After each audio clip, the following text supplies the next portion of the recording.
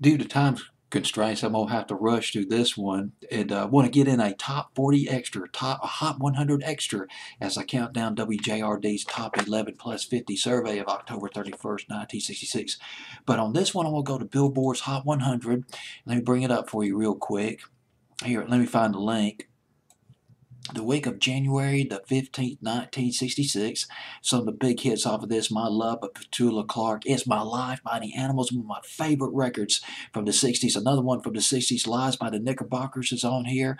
Thunderball, A Lost 45 by Tom Jones on this uh, Hot 100, and A Sweet Woman Like You, one of Joe Tex's big hits. Uh, and Sandy by Randy and the Rainbows, uh, Randy and the Daytonas, rather, lovely record on this Hot 100. But let's go all the way down to number 63. 63, I do believe. Number 63, Please Don't Fight It by Dino Desi and Billy.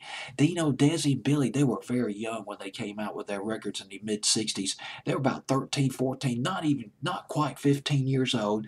Consisted of Dean Dino Martin, the son of Dean Martin, and Desi Arnaz Jr., of course, the son of Desi, of Desi Arnaz. And uh, I can't pronounce this guy's last name. I just hadn't had enough time really to look up the pronunciation of his last name. Billy H. H I N S C H E. They met in grammar school. First edition, they auditioned for Frank Sinatra.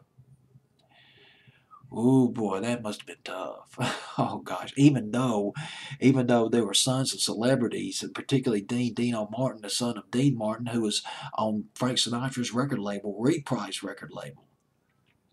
But they did come up with several hits in the mid 60s. Now, for the most part, they did not play their own instruments on, on the recordings.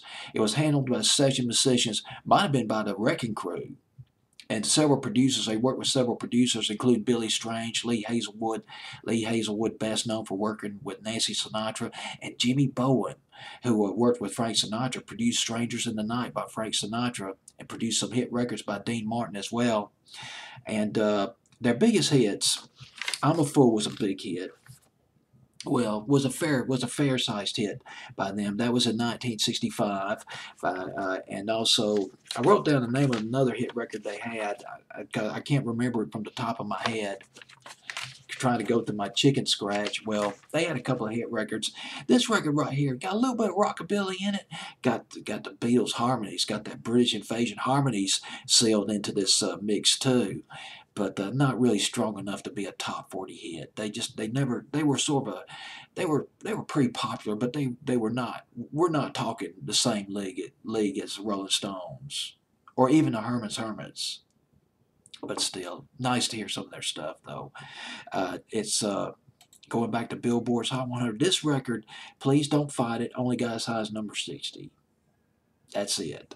Went. It was on Billboard's Hot 100 for seven weeks but still a gem just the same. Love these Lost 45s. Please Don't Fight It by Dino Desi and Billy.